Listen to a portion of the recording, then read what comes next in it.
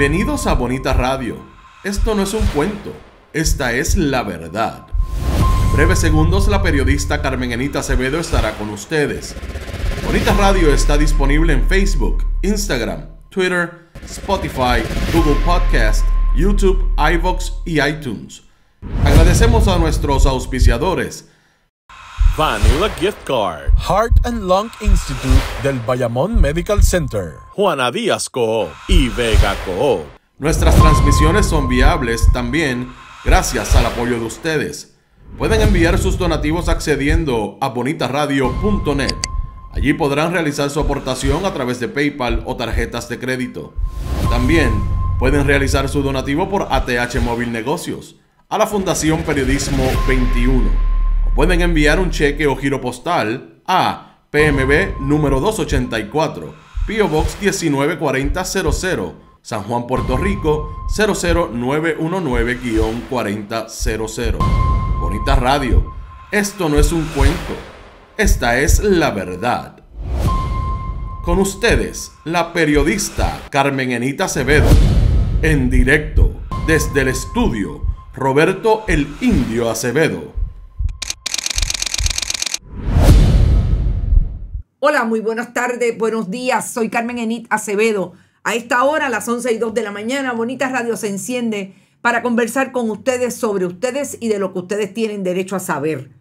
Estamos casi listos para irnos para Chicago. Tenemos una super actividad esta semana hasta el próximo lunes en Chicago con la diáspora puertorriqueña, aquellos que hacen patria puertorriqueña, donde quiera que se encuentren. No se olviden que vamos a estar a partir de mañana, los programas van a ser desde allá. Vamos a estar en toda nuestra programación regular. Eh, esto es lo último, Noticias con Café, que palo es noticia.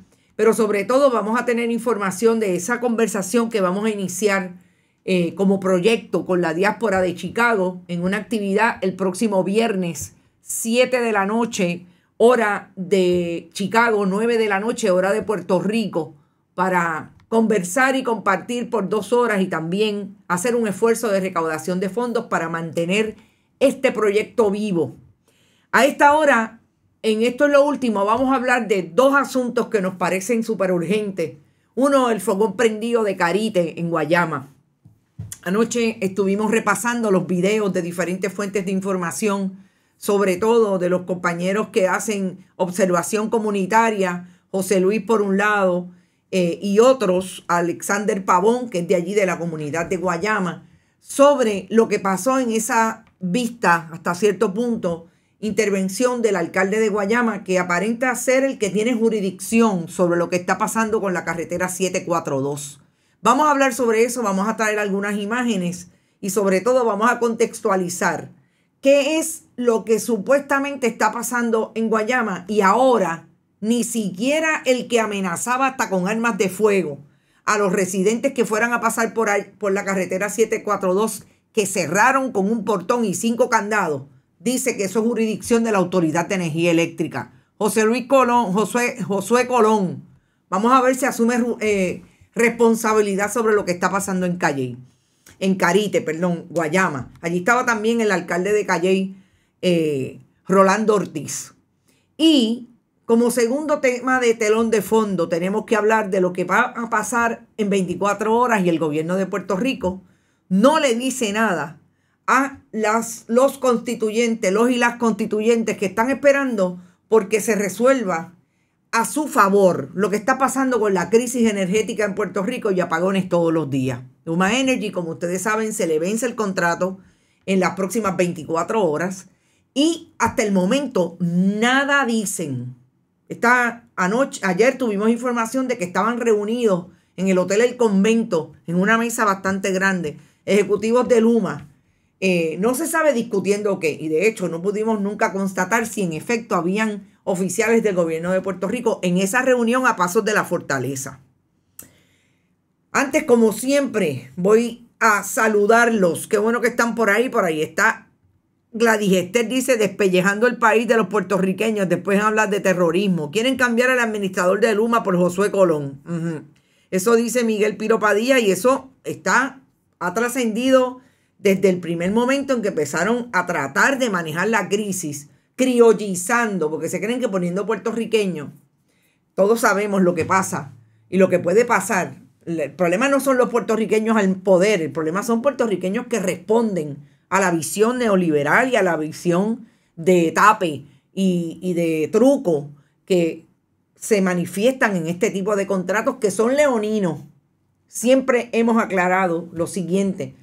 A la privatización de servicios esenciales podemos estar en desacuerdo. Finalmente, si el gobierno de Puerto Rico lo hace, por lo menos que los, que los contratos sean a favor del pueblo. El problema es que nunca lo han sido y ahí están las experiencias del aeropuerto de Puerto Rico y de eh, corporaciones como la Autoridad de Acueductos y Alcantarillados en el pasado. Por ahí está Idaluz eh, Negrón, Rubén González, saludos desde Nueva York, saludos. Rubén y todos los que viven en Nueva York, prepárense que la próxima gestión que queremos hacer es convocarlos y convoyarlos, como decimos en country, a todos los miembros de la diáspora puertorriqueña o a los por lo menos a los que se manifiestan y participan de nuestros programas siempre y están ahí al pie del cañón para organizarnos y que sean parte de ese esfuerzo que queremos hacer en todas las ciudades, incluso fuera de Estados Unidos, donde hay puertorriqueños y quieren mantener esa conversación vigente en dos vías, de aquí para allá y de allá para acá. Un abrazo fuerte, Carmen Enid, dice Scarlett. Gracias por informarnos con la verdad. Te agradezco a ti esa, eh, ese adjetivo. Gracias a, de verdad que, que me enorgullece saber que piensas que aquí realmente somos responsables eh, con la información. Eh, Ibel Grajales también está por ahí. A este pilu lo tienen amarrado porque está casado con Luma, dice Eduardo Torres, Edwin Torres, perdón, Luz Calderón también está por ahí, Saida Mejía, a mi amiga Idrisita Delgado que debe estar por ahí también. Eh, siempre, Nieves Brach, desde Vieques. Por fin te veo en vivo, trabajando mucho con los pasteles, pero te veo siempre grabado. Qué bien, ayer me encontré una persona cerca aquí en el barrio que me decía, tú eres Enid y eso que yo andaba con mascarilla, no me puedo, yo no me, no me, no puedo decir que no soy yo. Pues sí, soy Enid y dice lo mismo, que me escucha siempre por YouTube, agradecida de eso. Por ahí está Sonia Pérez, Edwin Torres, Marisol López González, gracias amiga. Y qué bueno que estás por ahí, hace tiempo que no te escuchaba ni te veía. Y gracias por tu apoyo siempre, María Buxó.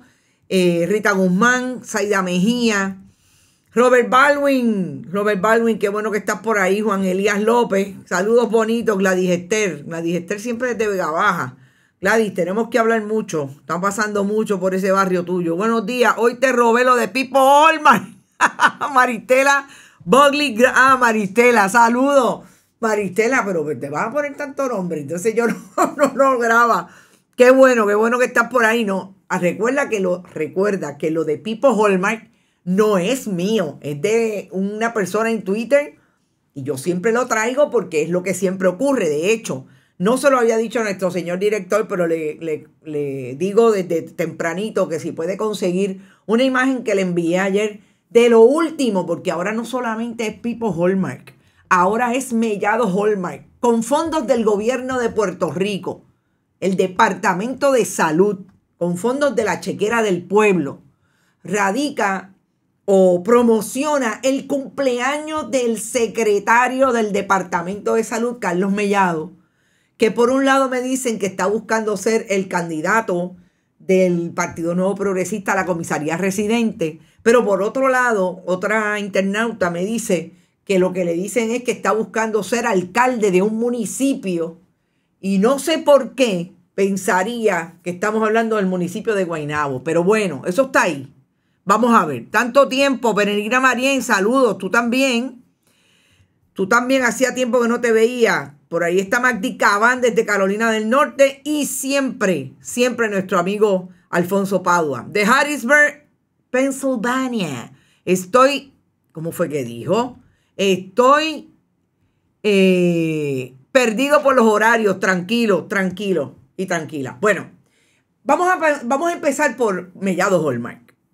Eh, ustedes saben que el secretario del Departamento de Salud nunca contesta los requerimientos de información del periodismo Bonafide, no solamente de Carmen Enit y de Bonita Radio, tampoco lo hace de colegas que hacen investigación como el Centro de Periodismo Investigativo, etc. Eh, pero tiene la capacidad desde el Departamento de Salud de promocionar su cumpleaños, como si fuera, en efecto, como diría Néstor Duprey, un infante. Eh, un, eh, un, infante, bueno, era una infanta realmente, eh, pero como si fuera este príncipe con diferentes imágenes que nos sorprende que no fuera solamente el gobernador de Puerto Rico el que lo felicitara, porque el gobernador nos tiene acostumbrados a que veamos esas imágenes en eh, sus eh, redes sociales, porque son las imágenes que el gobernador siempre coloca hablando de los eh, funcionarios de su gabinete que cumplen años. Fíjense la imagen que coloca el Departamento de Salud en sus redes oficiales. Y le pido al señor eh, director que nos deje ahí un momento. Y son las imágenes de esta persona que parecería que está en efecto evolucionando en el tiempo de un médico que se hacía pasar como el gran samaritano de proyectos en Haití, etcétera, etcétera, a ser secretario del departamento y que evoluciona finalmente a ser un funcionario sin la bata blanca y sin estar definido como secretario del departamento. Mire, si esto no es un, un uso indebido de fondos públicos para una campaña eh, como la que parece que vamos a ver de el candidato en el 2024, alguien que nos lo explique de otra manera. Es en las redes oficiales del Departamento de Salud que se coloca esta imagen. Y ahí está el tweet. Esto nos sorprendió ayer increíblemente.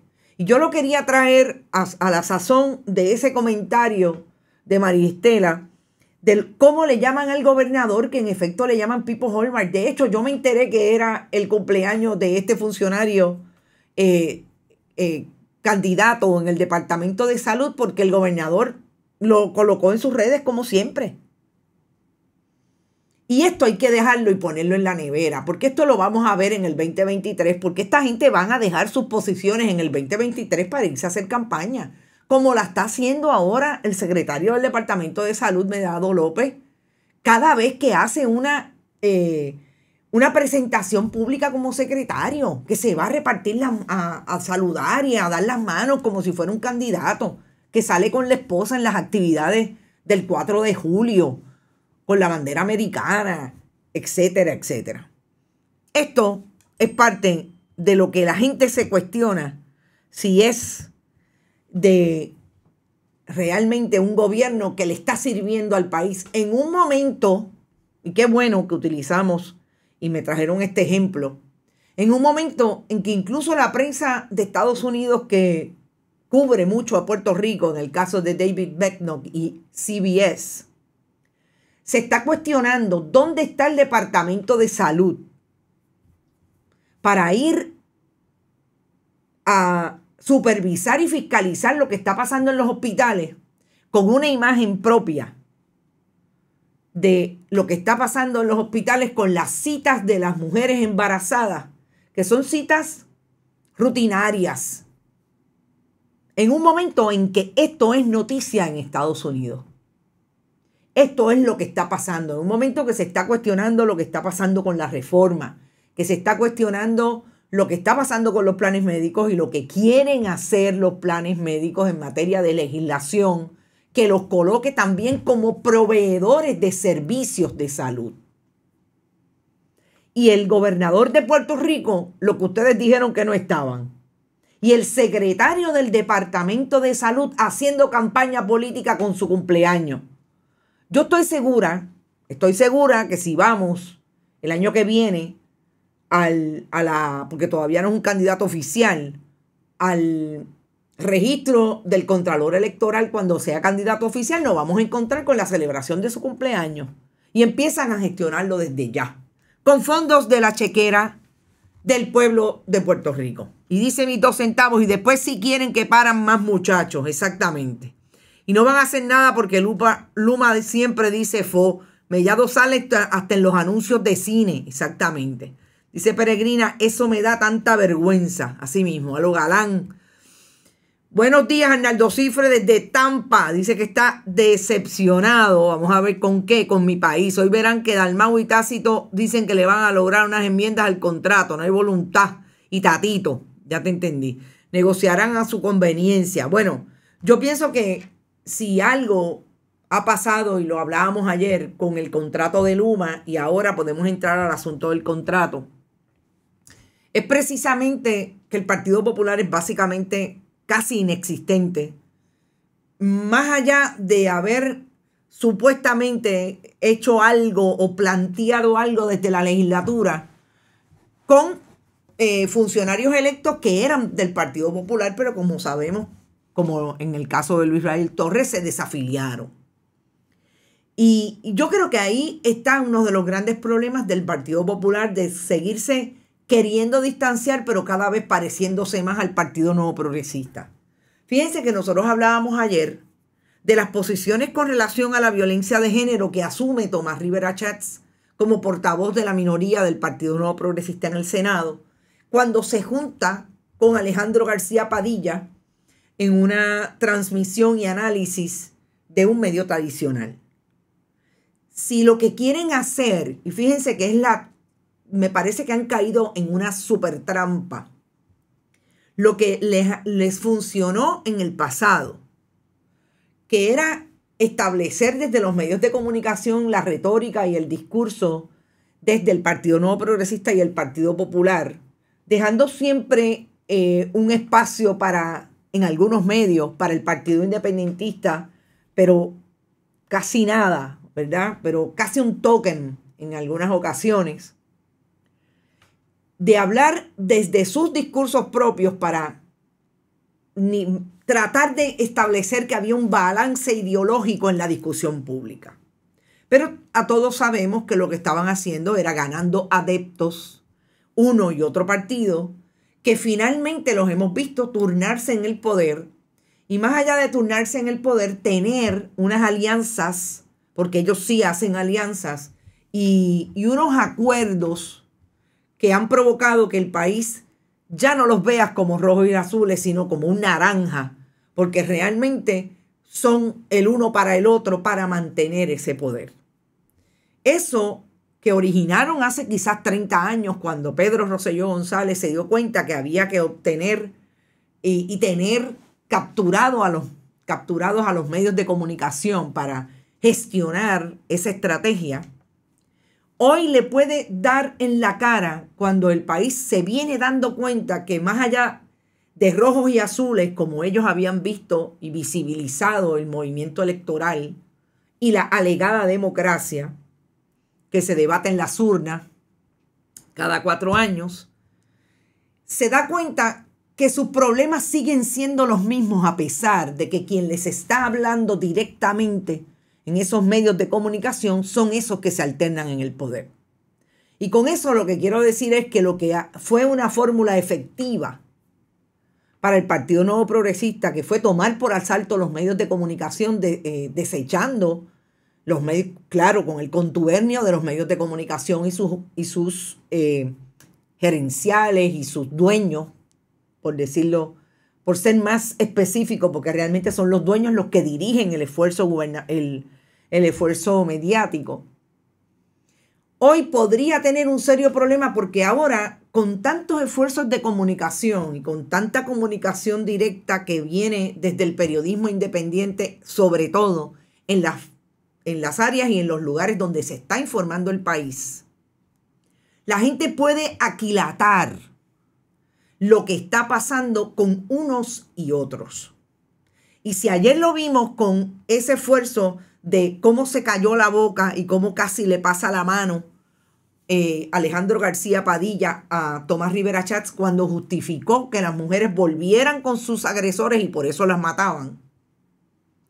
Nosotros podemos estar viendo eso mismo en el asunto de Luma.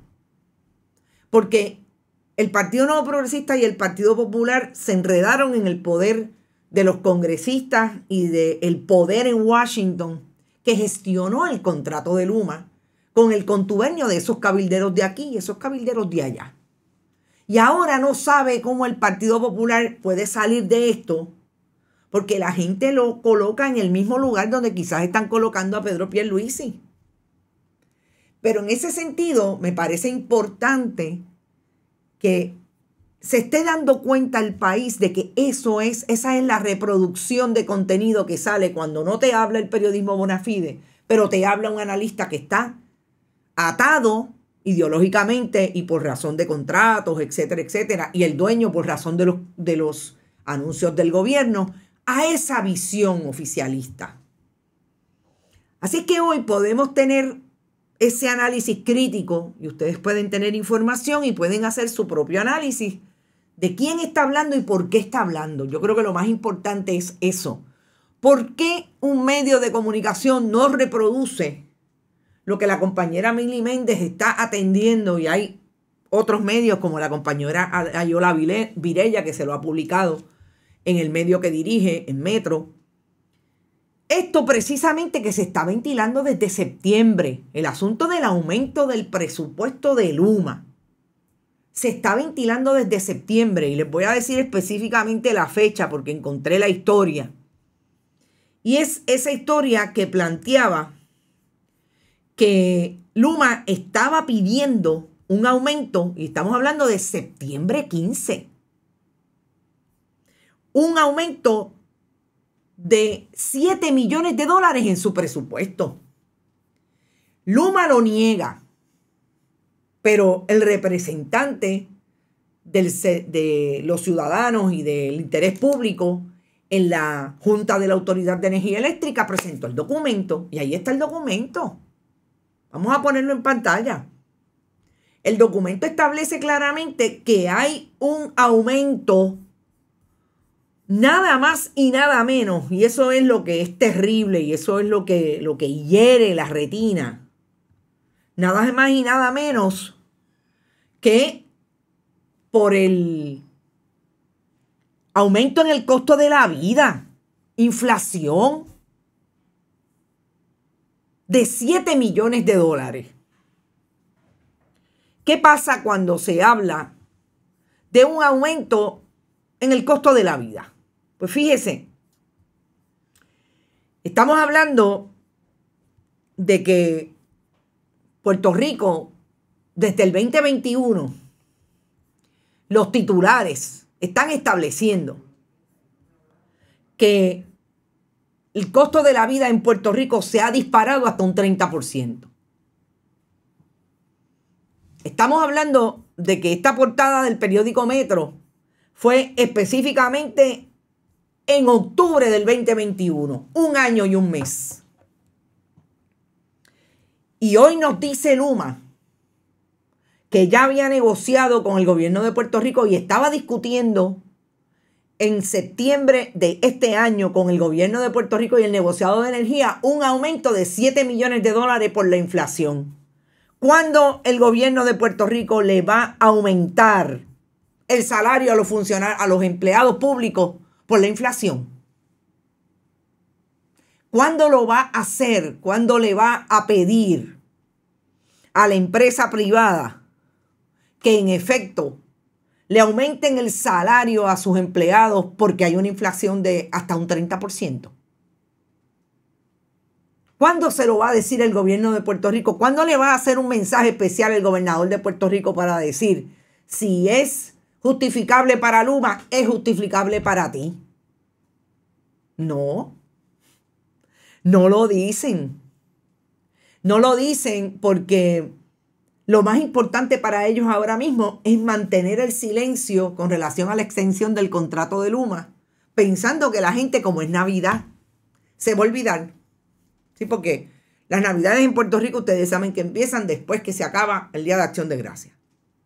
Y aparentemente en esas estamos. Todo el mundo quiere baile, botella y baraja. Y yo estoy de acuerdo porque bastante que nos hemos chupado una crisis eh, y un año difícil. Pero también hay que hablar de esto. ¿Cuándo le va a decir el gobierno de Puerto Rico al país que nos merecemos, que se merece? Que todo lo que no ha hecho el secretario de Hacienda buscando a aquellos que le han robado al erario, como el asesor de tecnología, el supersecretario asesor de tecnología en la fortaleza, Volkers, que no llenó planilla de contribución, pero lo premiaron siendo asesor del gobernador. ¿Cuándo le va a decir el secretario de Hacienda al país que va a buscar a todo aquel que le ha fallado a Puerto Rico, aunque esté al lado del, del gobernador de Puerto Rico? No, no se lo dicen, pero le dan 7 millones más a Luma. Un aumento de salario produce más inflación, dice Carlos Rafael Ramírez eh, Molina. Exacto, es posible. ¿Cuándo le van a decir entonces que van a buscar las, los mecanismos? Gracias por tu comentario, Carlos Rafael. ¿Cuándo le van a buscar los mecanismos como, entre otras cosas, la famosa, eh, los famosos problemas que tenemos con las leyes de cabotaje para abaratar los costos de los eh, productos que entran a Puerto Rico? ¿Cuándo tiene un proyecto el Partido Nuevo Progresista para aliviarle el bolsillo a los puertorriqueños y que sea más viable vivir todos los días en un país donde tú vas al supermercado y una lechuga americana de las malas te cuesta 5 dólares. Vamos a empezar por hablar de lo concreto. ¿Cuándo Luma le va a decir a Puerto Rico que en efecto esa inflación que ellos alegan le está costando a una familia de dos personas en San Patricio hasta 600 dólares de energía eléctrica? Dos personas.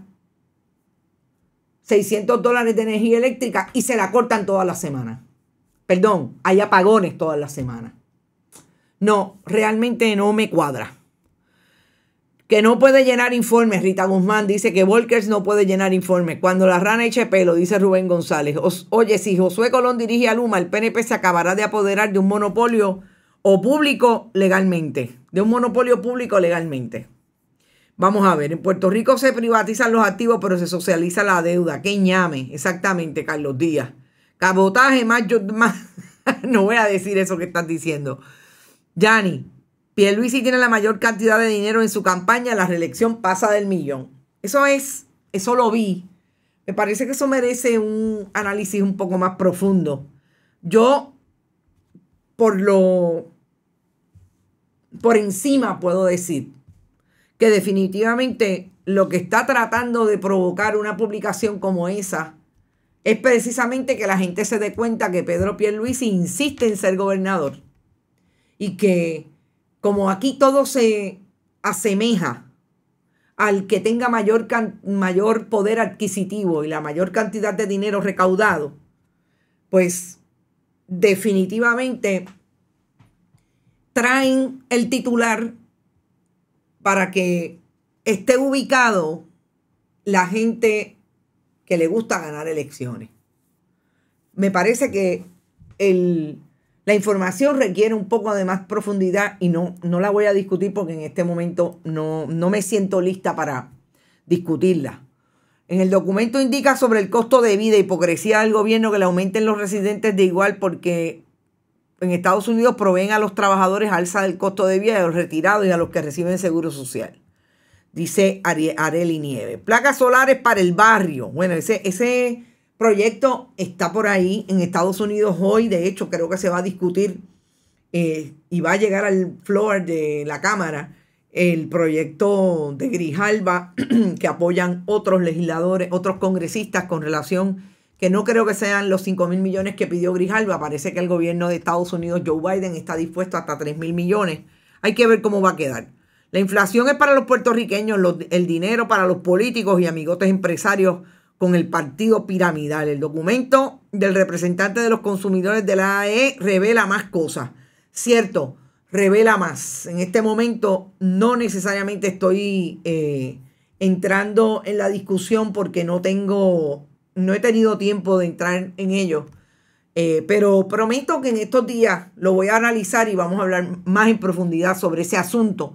A esta hora eh, establezco que estamos auspiciados por Bayamón Heart and Lung Institute, el centro de servicios cardiovasculares más especializado y con la mejor tecnología de Puerto, en Puerto Rico y el Caribe.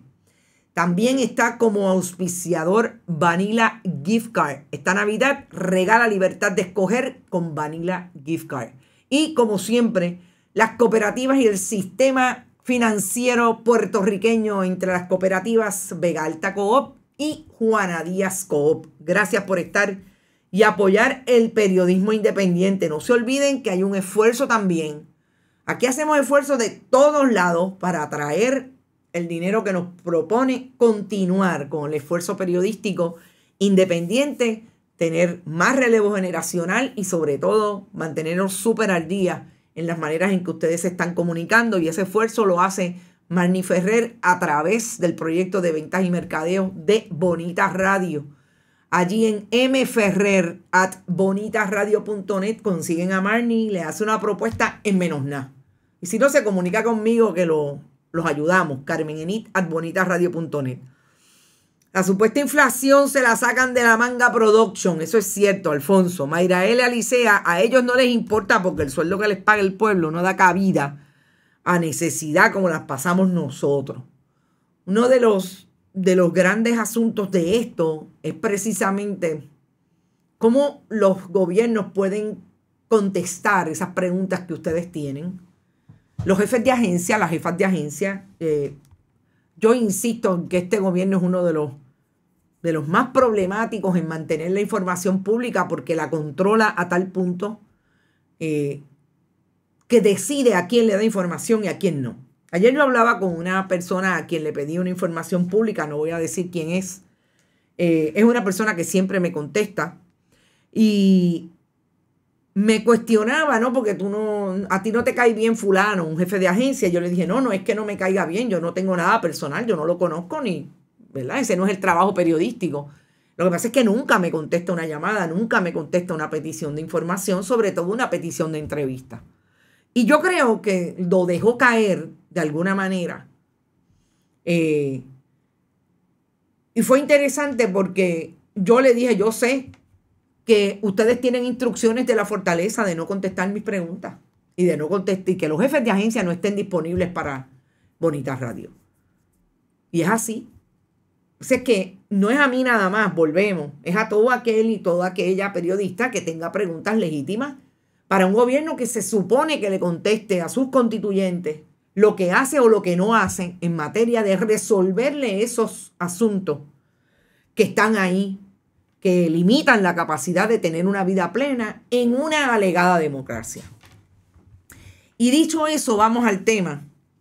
De hecho, tengo que decir que estoy en vías de comunicarme con el alcalde de Guayama, el alcalde de Guayama, Obrein Vázquez Molina, para hablar sobre este asunto de Carite y lo que comenzó con una denuncia pública de las comunidades de Carite alrededor de lo que a mí me parece es el colmo de la privatización y de la incapacidad de un gobierno de rendirle cuentas a sus gobernados.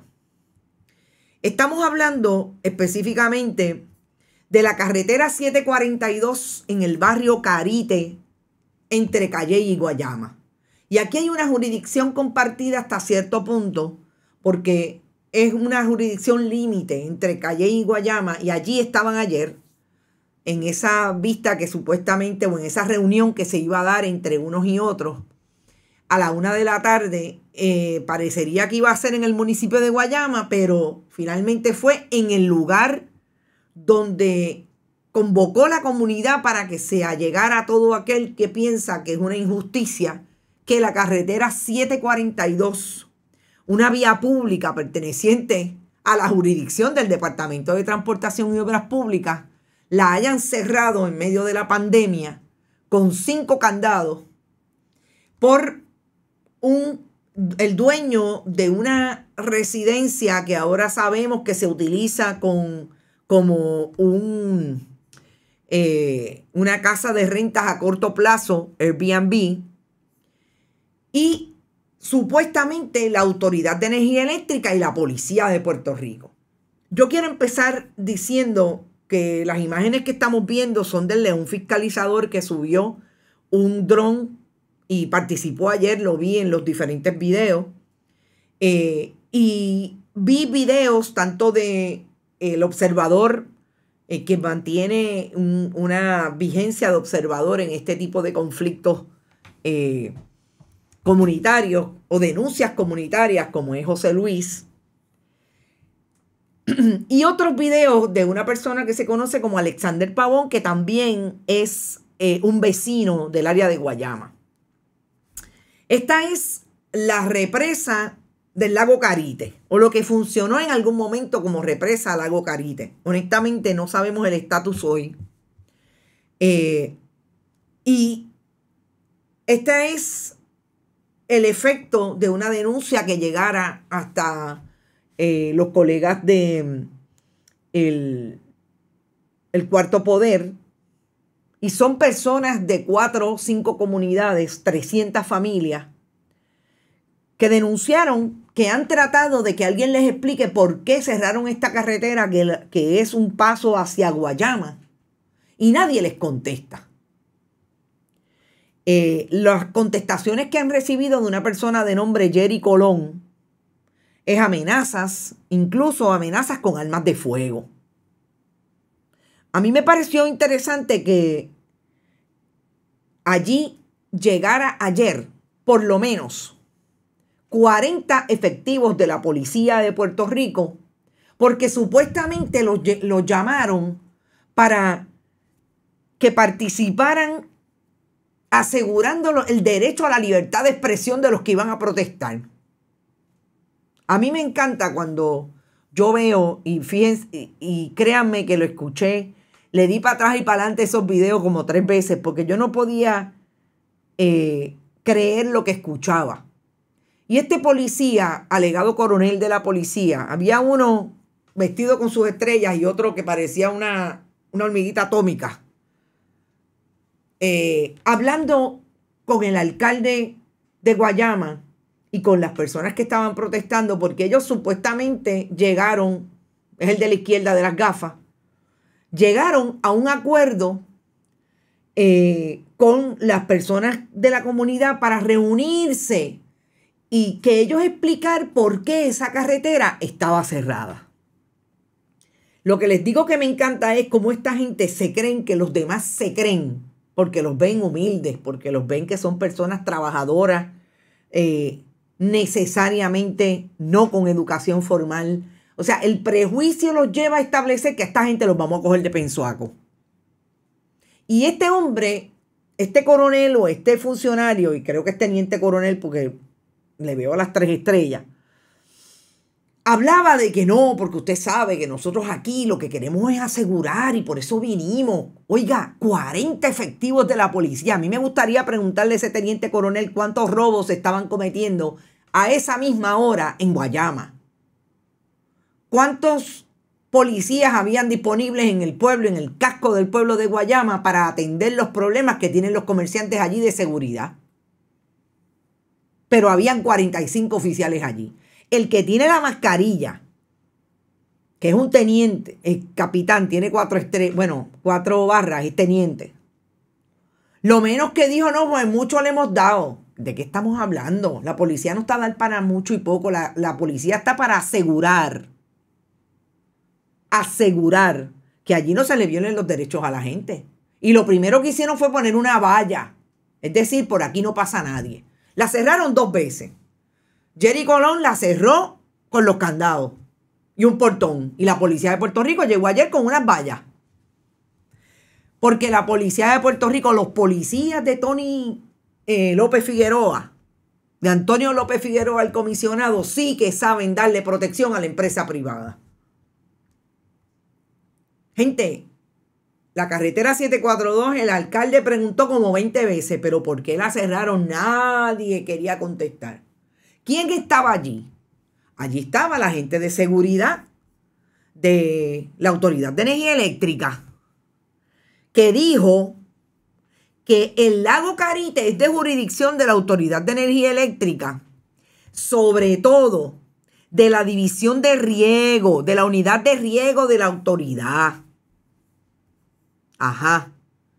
¿Qué tiene que ver el lago Garite con, la, con el acceso a la calle, a la carretera? Una carretera que siempre había estado abierta y que la cerraron en, eh, después de la pandemia. Entonces, sigue preguntando el alcalde y no había manera de que nadie le contestara. Pretendían que el alcalde se reuniera hoy con los funcionarios de la Autoridad de Energía Eléctrica. Él le dijo, pero venga acá, yo no puedo ir allí sin fundamento. Yo, a mí nadie me ha dicho por qué esta carretera la cerraron. Yo voy a hacer mi due diligence. Yo voy a hacer mi trabajo de investigar lo que está pasando. Voy a hablar con la ingeniera de la, autoridad de, del Departamento de Transportación y Obras Públicas, a quien le pertenece la carretera, para ver. Yo le deseo suerte al alcalde, porque no se olvide, alcalde, que esa fue la que vendió a precio de pescado a Bombao el predio de terreno en el condado y después decía que no sabía nada. De hecho, ¿dónde está el secretario del Departamento de Justicia que no está investigando lo que pasó en esa doble inmatriculación? No, eh, eso no. El secretario no está para eso. El secretario está para decir que Miguel Romero y Juan Oscar Morales no tienen nada que ver. En, ese, en esa reunión también me llamó la atención lo presto que estaba el de seguridad de la Autoridad de Energía Eléctrica para decir que eso allí es de ellos. Y que la unidad de riego era la que podía contestar. Ah, pero Jerry Colón, que había sacado pecho, incluso armas de fuego según comu- la comunidad, ayer dijo que eso no era problema de él, que eso era un problema de la Autoridad de Energía Eléctrica, que era quien había cerrado aquello allí. Ujú. Josué Colón. ¿Dónde está Josué Colón? Josué Colón, que tengo que decir, y lo voy a entrar en, eh, en este tema de paso, que también ha salido que es uno de los que está trucando y que supuestamente el negociador de energía le está cuestionando todos los procedimientos sobre la compra de combustible que hemos visto en el pasado, cómo se ha trucado con la compra de combustible. Y ahora también sale a relucir. Pues aquí aparentemente es la Autoridad de Energía Eléctrica. La comunidad no pudo entrar, solamente algunos líderes y el alcalde. Los únicos que tenemos de imágenes son las imágenes de arriba, desde arriba, que como les dije, las tomé de una, un video del león fiscalizador. Pero bien interesante, además, que en todo esto, y el coronel se, se identificó como Díaz Portalatín de Guayama. El coronel, el famoso coronel que está diciendo que no, que aquí lo que estamos es para velar por la seguridad. Que en esa reunión supuestamente va a haber hasta ingenieros. Y que ahora Jerry Colón no sabe nada. Que eso es todo problema de la Autoridad de Energía Eléctrica. Y por último, Ustedes saben que en medio de las denuncias de la comunidad se trajo que para allá, para esa, de esa carretera hacia adelante, uno de los que tenía llave, del, uno de los candados, también tenía llave la policía de Puerto Rico. Pues fíjense lo que encontró José Luis allí cuando fue ayer al área. Un dron de la Autoridad de Transportación y Obras Públicas, lleno de agujeros como si tomaran al dron de, de blanco, de tiro al blanco. Y una de las cosas que dijeron las personas de la comunidad fue precisamente que mucho de lo que pasa allí es que entra la policía de Puerto Rico a hacer prácticas. ¿De qué? No sabemos. Como dice Yvette Campbell, otra caja de Pandora, otro fogón prendido. ¿Y el gobernador? ¿Dónde? No, ni esto ni de nada. Pero estas son la gente que vamos a ver más tarde en el 2023 y entre el 2024 a que van a ir a hacer campaña y le van a prometer, prometer y prometer y prometer. Todos los alcaldes han perdido la credibilidad, dice Ed Méndez, todos. Ese es el de la camisa prensa, María Buzón Rodríguez. Sí, ese mismo. Distorsión de lo obvio. Uno ve estas cosas y no le puede creer. Ya el pueblo se ha quedado sin nada y la policía quiere que la gente lo respete. El problema de la policía de Puerto Rico es que yo voy a ver cómo es que le piden a la gente y cómo es que se atreve el comisionado de la policía a decir que la gente no apoya a la policía si cuando la gente quiere que la policía los apoye, mire dónde están, defendiendo el cierre de una carretera. Vuelvo y repito, vaciaron la comandancia de Guayama. Dicen que habían cinco patrullas, de hecho yo conté en los videos como seis. Pero me imagino que ahí estaba el carro del, del soplapote teniente coronel y el teniente que fue allí a decir, no, aquí no pasa nadie más. El gobernador de cabeza en la quiebra, dice Luis Fernández. Y a esta hora yo les voy a pedir unos cuantos minutos porque estoy a punto de salir para el aeropuerto. Les agradezco mucho el interés en estas informaciones, sobre todo, compartan, compartan, compartan. Y no se olviden que el viernes a las 9 de la noche, hora de Puerto Rico, vamos a transmitir. También eh, se va a originar en, el, en la página de Facebook del Centro Cultural Segundo Ruiz Belvis, allí en Chicago. Y nosotros lo vamos a transmitir simultáneamente. Esa conversación que vamos a tener con la diáspora de Chicago, que también se convierte en una actividad donde va a haber bomba, porque le encanta eh, el esfuerzo también eh, de música eh, y lo vamos a compartir con ellos. Va a haber jazz también de un grupo de allí, del mismo centro, de esa producción cultural increíble que hace el centro. Y vamos a también a establecer nuestro proyecto de fin de año de recaudación de fondos para seguir y continuar este proyecto. Gracias a todos y a todas. Nos vemos mañana. Recuerden que hoy a las 5 no vamos a estar porque hoy a las 5 vamos a estar todavía camino a Chicago nos vemos mañana a las 8 de la mañana. Me van a levantar bien temprano. Ya son las 6. Así es que nos vemos mañana temprano en Noticias con Café. Gracias por estar. Seguimos en esta semana. No sé por qué pienso que el jueves puede haber algún movimiento, pero bueno, eso es como una intuición, algo que tengo por ahí cerquita. Pendiente a la página de Bonita que tenemos una historia que rompe, si no hoy, mañana. Pero Parece que viene algo por ahí interesante a nivel judicial. Nos hablamos. Éxito. Buen provecho. Bonita radio. Esto no es un cuento. Esta es la verdad. Este programa fue traído a ustedes por Vanilla Gift Card, Heart and Lung Institute del Bayamón Medical Center, Juana Díaz Coop y Vega Coop.